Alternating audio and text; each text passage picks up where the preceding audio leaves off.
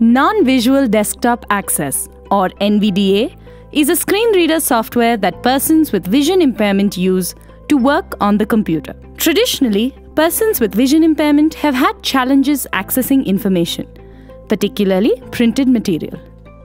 I was a, a low vision person actually, and uh, I lost my vision at the age of uh, 13. Somehow, my mother used to help me. Once she comes from the office, she used to sit with me for two hours and she would read it out to me. Today, Ramakrishna is able to pay his bills independently, book tickets to travel on his own, and check emails on his smartphone. He is also able to read his favorite novels in Tamil. Uh, now I work as an accessibility tester in IBM.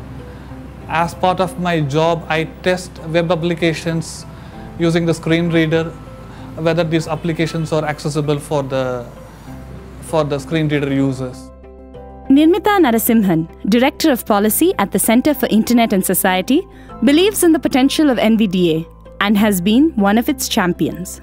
What I like best about this project is that it's entirely community driven.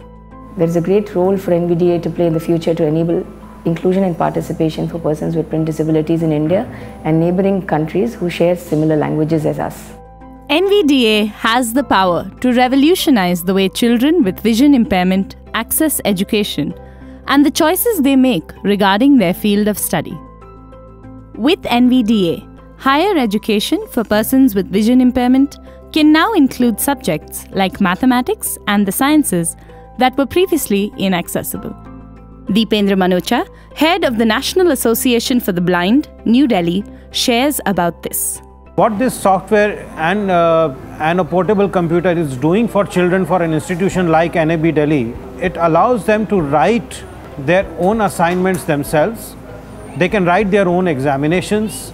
They can read books themselves and get access to all the digital information, including online libraries or dictionaries or newspapers, magazines, and so on and so forth, so that they can not only just read their textbooks, but also all the other materials which can uh, give them a much wider knowledge base which is required for an overall growth of the children.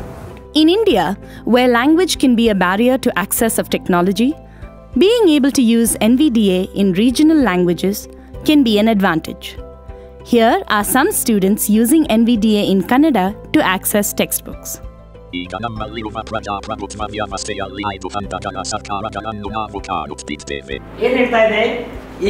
ನಮ್ಮಲ್ಲಿರುವ ಪ್ರಭಾ ಪ್ರಜಾಪ್ರಭುತ್ವದಲ್ಲಿ ಐದು ಹಂತಗಳ ಸರ್ಕಾರವನ್ನು ಕಾಣುತ್ತಿದ್ದೇವೆ ಕಾಣುತ್ತಿದ್ದೇವೆ Historically, employment for persons with vision impairment has been a challenge because of electronic accessibility issues and the high cost of proprietary screen reader software. Moses Chowdhury from Enable India talks about how NVDA has made a difference in the employment scenario. If I think about uh, employment scenario for persons with vision impairment in the country today, I'm very happy to see the number of jobs that are getting opened up for persons with vision impairment because of NVDA. And the good news is NVDA supports many Indian languages today and persons with vision impairment who are hired in the government departments are able to use NVDA and eSpeak to be productive at workplace. NVDA is constantly being improved by a dedicated community of developers. Dinesh from Sapient and Manshul from IIT Delhi are two of the key people developing newer features requested by the visually impaired community. So SmartArts are usually used for showing diagrams, process diagrams or organizational charts. So if you have a top person and then there are, there are people reporting to that person, so those are shown in a SmartArt. So before we worked on this, there was again the, there was no solution available for reading this, and in fact people said that we uh, only tell people that don't use them, so it's not accessible. Since we have done this now, uh, visually impaired persons can um kind of access that and one person in fact said that it might help me to get a promotion because at a higher level you need to look at these diagrams and even in, even create them Dr. G.V. Rao, Executive Director of the Hans Foundation, talks about their journey with NVDA. One of the major sectors what we have been supporting is disability. And uh, NVDA is a program which uh, we found is very useful to really bring development or uh, improvement in the lives of visually impaired and low vision people. What we want to really see that this really goes down up to the rural areas where uh, the, mm, these people are staying uh, in rural areas. They should also benefit from this so that they can also be educated and get this opportunity. That's our next step as to how to disseminate further. NVDA has been enabling the visually impaired community in India and around the world live lives with dignity and independence. When I start computers, when I switch on the screen reader, I am as good as anyone else.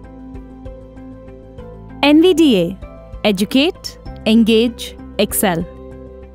Supported by the Hans Foundation. Created by the Center for Internet and Society and Enable India. Special thanks to Saksham Trust, IIT Delhi, Sapient, and the National Association for the Blind, New Delhi.